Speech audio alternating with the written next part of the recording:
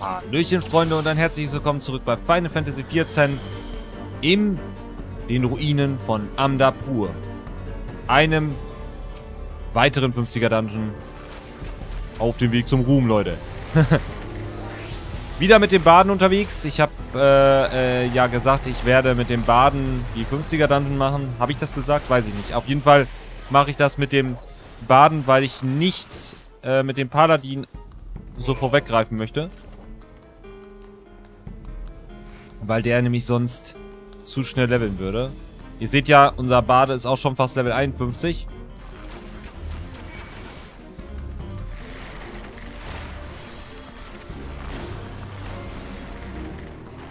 Denn wir kriegen durch die Dungeons ziemlich viel äh, XP.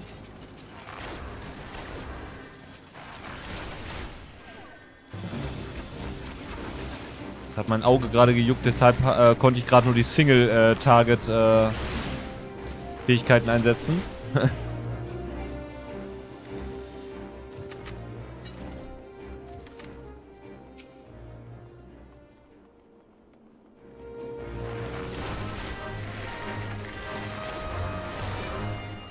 so. Ja. Ähm, für die Leute, die es interessiert, ist es äh, tatsächlich mein zweiter äh, 50er Dungeon, den ich gerade mache. Sieht man vielleicht auch noch an der Ausrüstung, die ist noch nicht so geil. Zuletzt hatte ich den Palast des äh, Wanderers gemacht, wo die bösen Tomberries ihr Unwesen treiben, oder beziehungsweise wir äh, die Tomberries eigentlich... Also wir haben eigentlich das gemacht, was Limsa Lominsa die ganze Zeit mit den Kobolden macht. Wir haben die Tomberries nämlich ein bisschen verärgert.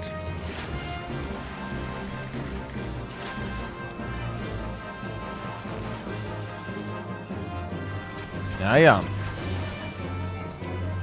So. Äh, die Gruppe besteht aus einem Paladin, einem Weißmagier und einem Samurai. Eine Klasse, die ich überaus cool finde. Die spiele ich gerade bei meinem Hauptcharakter nämlich auch hoch. Wahrscheinlich, wenn... Ey, ich finde das so lustig, weil ich stelle mir die ganze Zeit so vor, wenn du das, äh, wenn ihr das äh, Video vielleicht in so ein paar Jahren seht, dann ist der Samurai schon äh, Max Level. Aber vielleicht gibt es ja Final Fantasy 14 auch gar nicht mehr und es gibt schon den Nachfolger oder so. Wer weiß, wer weiß. Dieses Video ist auf jeden Fall für die Ewigkeit. Ja, ihr seht schon, auch dieser Dungeon hat uns nicht wirklich viel entgegenzusetzen, weil, äh, ja, liegt wahrscheinlich daran, dass unsere Gruppenmitglieder hier schon ein deutlich höheres Level haben. So, da vorne wartet noch ein äh, wahnsinniger Priester. Das sind die Priester, ich glaube, von dem Orden von Dalamund. Ne? Die Jünger von Dalamund sind das, glaube ich. Ist auch der erste Boss. Allerdings ist er nur so ein Vorgeplänkel. Der richtige Boss kommt jetzt gleich erst noch.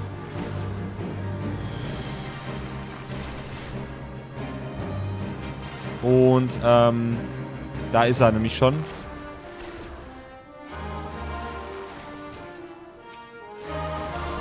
Und der holt jetzt gleich noch den dicken äh, Felsen da hinten. Den beschwört er gleich.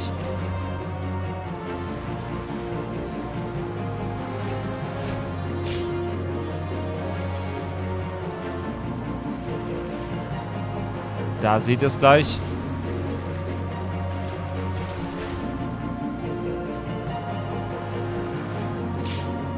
So, ein bisschen weiter nach hinten gehen. So, dann beschwört er da vorne auch noch einen Felsen. Ganz viele Felsen, die der Psychoschinder hier herbeizaubert.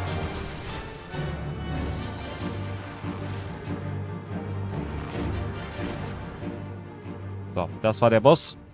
Nice. So, und es geht weiter. Okay, wieder für Magier. Ich weiß sowieso nicht, ob die Rüstung hier äh, uns überhaupt noch was bringt. Ich glaube nämlich weniger. Für frisch Level 50er damals, äh, da hat man, glaube ich, bei der Quest noch nicht das komplette äh, ähm, Baden-Set bekommen, was ich jetzt gerade angelegt habe, sondern nur dieses einfache äh, Set, was äh, man dann mit Level 50 kriegt. Also man ha hat dann die, die, äh, die ganz normale Badenrüstung, also die einfache Badenrüstung äh, an. Das heißt auch noch die Level 45er Sachen. Ähm, und da musste man damals halt diese Dungeons hier durchlatschen. Und hat dann hier so, so seine Anfangs 50er Rüstung bekommen. Muss schon, muss schon geil gewesen sein. Also ich mag das immer bei den, äh, ich freue mich da auch jetzt auf die Neuerweiterung, die ja jetzt wahrscheinlich dann schon draußen ist, wenn ihr das Video seht vielleicht. Vielleicht ist da auch schon eine ganz neue Erweiterung raus. Also als dieses kommt übrigens äh, Dawn Trail. ähm, ja.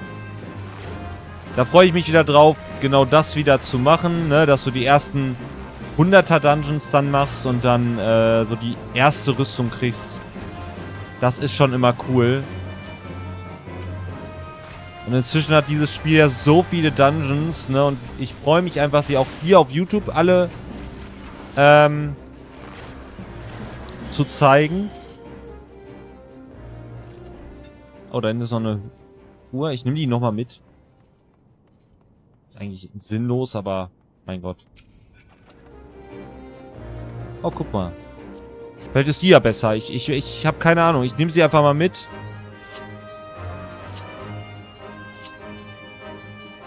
La la la la. So, die äh, anderen kämpfen hier schon.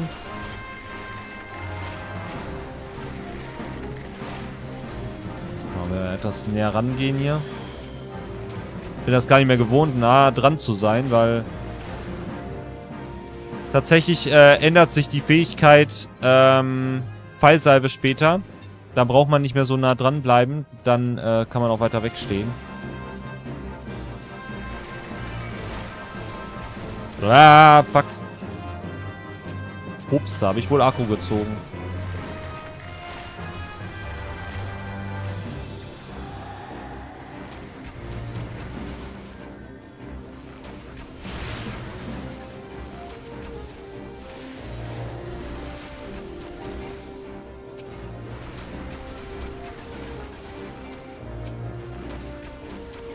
Oh, und da sehen wir schon den zweiten Boss. Die Dämonenwand in dem Fall. Die Dämonenwand kommt übrigens äh, zweimal in diesem Spiel vor. Die gibt es zweimal als Boss. Einmal hier und einmal später in einem äh, 60er dann.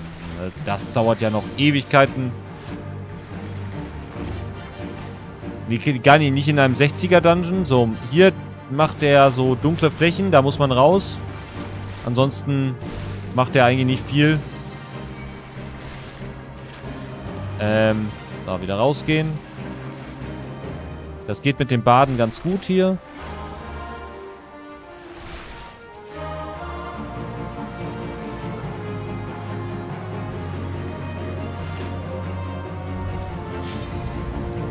man muss ein bisschen aufpassen, weil äh, der quetscht uns ein, wenn wir natürlich äh, den Boss nicht vorher töten. Aber das ist hier einfach inzwischen so leicht dass das eigentlich äh, nicht passieren kann. So.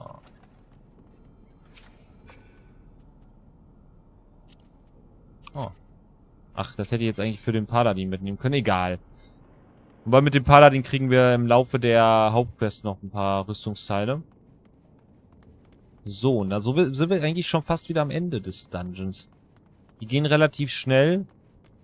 Das liegt aber dann auch einfach daran, dass wir halt so eine gute Gruppe haben. Oh, da hinten ballert uns ein Magier oder ein Seelensammler ab. Oder es war die Succubus. Ich glaube, es ist die Succubus. Ja, es ist die Succubus. Okay. Wollen wir die mal schleunigst erledigen hier.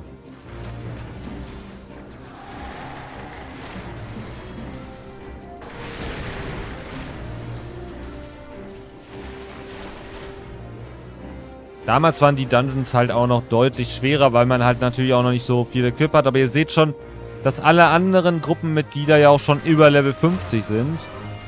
Heißt, die haben natürlich auch deutlich stärkere Rüstung. Das war damals halt eben nicht so.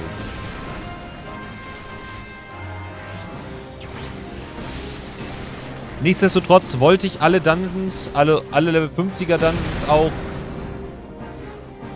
Okay, Samurai, bleib einfach mal stehen.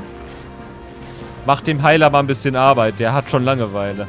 Ähm, nichtsdestotrotz wollte ich natürlich alle Level 50er Dungeons ähm, wenigstens einmal zeigen. Und äh, für Leute, die vielleicht die 50er dann selber auch gar nicht mehr so machen. Wobei, bei Stufensteigerung kommt man ganz oft da rein mit äh, Dungeons 50, 60, 70, 80, 90, äh, was auch, nee, äh, 60, 70, 80 in dem Fall noch.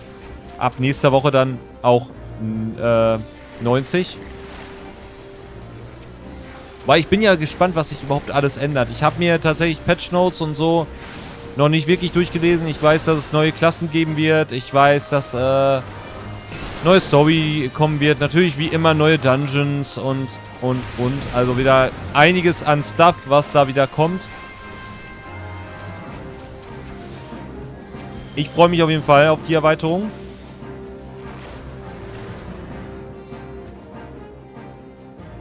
So. Und dann sind wir gleich auch schon am Ende des Dungeons angelangt.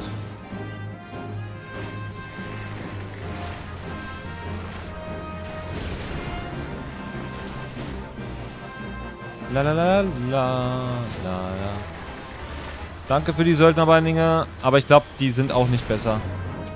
Weil die Söldnerschuhe, die wir letztes Mal gekriegt haben, waren auch nicht gut. Naja, braucht ja eh keiner mehr. Style Gear technisch ist es jetzt auch nicht unbedingt das, was ich äh, so gerne tragen würde. Das Lustige ist ja, ich glaube, den Dungeon habe ich bei meinem Hauptcharakter gar nicht äh, mit anderen gemacht. Den habe ich, glaube ich, alleine gemacht. Ich habe viele 50er Dungeons gar nicht mitgenommen.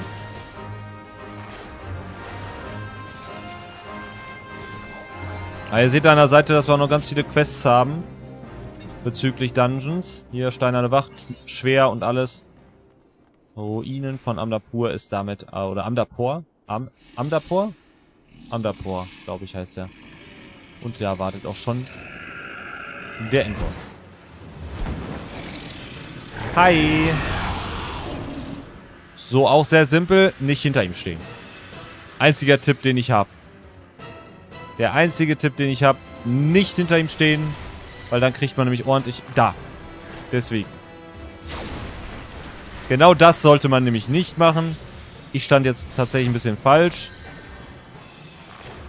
Was, wofür ich aber auch nicht wirklich was konnte, weil der ähm, Tank den Boss halt natürlich auch sofort umgedreht hat und er sofort die Attacke gemacht hat. Da konnte ich gar nicht mehr so schnell reagieren. Ähm, hier, wo ich jetzt stehe, ist eigentlich ganz gut. Und eigentlich sonst, als Bade ballerst du halt eigentlich nur drauf. Bade ist halt auch eine sehr, sehr einfache Klasse. Du packst deine Dots drauf und dann ballerst du einfach nur noch drauf los. Ähm, Weshalb ich ganz, ganz gerne diese Klasse auch spiele. Auch stand ich da ein bisschen zu nah dran. So, jetzt holt er ein paar Ads. Wir gehen weiter auf den Boss.